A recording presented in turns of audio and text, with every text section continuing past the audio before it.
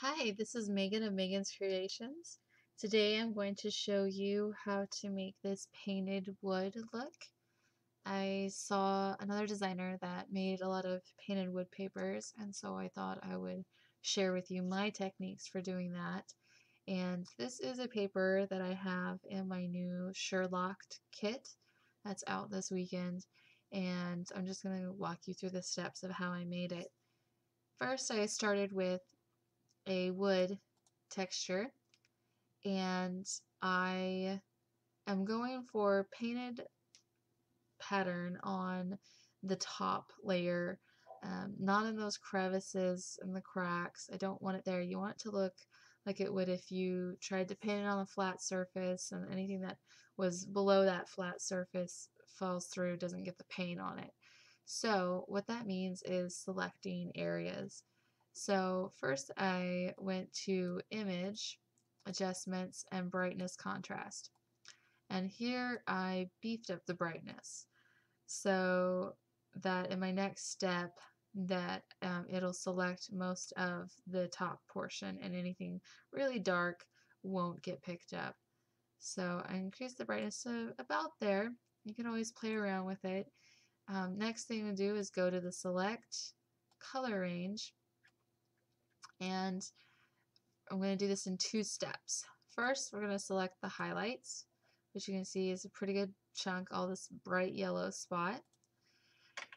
And using Control C on the keyboard, I'm going to copy and paste it onto a new layer. Then I'm going to make that invisible, come back to the original wood, and go to Select, Color Range, Midtones to get some of these other colors and hit Control C and Control V.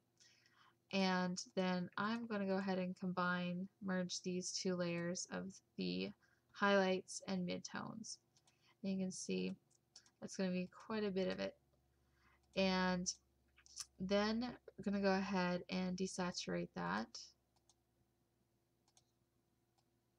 And we can and you can see anything that didn't get desaturated, that's going to be the dark spots that the paint's not going to be sitting on top of.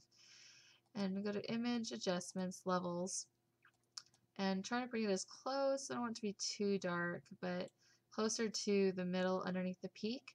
This helps that when we apply it as a texture to colors that it keeps those colors as true to their original as possible. Alright, then I'm going to grab this pattern that I had down here and uh, you can do any pattern you want. I just, I just chose this pattern. And then we want to duplicate this layer which was our lights, our bright tones and our mid-tones combined together. And I actually duplicate it one more time actually two more times. I do quite a few blending layers when I do textures. And I make the first one an overlay. Oops right there. Overlay at 100% and then one at soft light 50% and then since mine has a white cream I'm going to actually do a linear burn. If it was a darker color I might use linear light but I really want the texture to show up on that cream and burn. Linear burn is the best way to show up texture on a light color.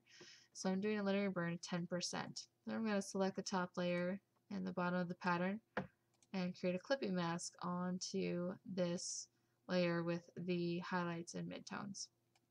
And you can always tweak that, lighten things up, but here is a zoomed up look of how it shows the ripples in the wood, like this has really been painted on top of the wood. And you can see that the, the overlay does not go into the cracks so that it looks like a shadow and down in there. And then you've got the dark spaces not showing up like they've been rubbed away. Some of the textures and rubbed away. And uh, yeah, I just found it a really fun technique, really fun to uh, apply to our woods to dress them up a little bit. Wood's really popular in scrapbooking, and this is a fun way to make it a little more unique and individual. So I hope you found this tutorial helpful, and I'll see you next time.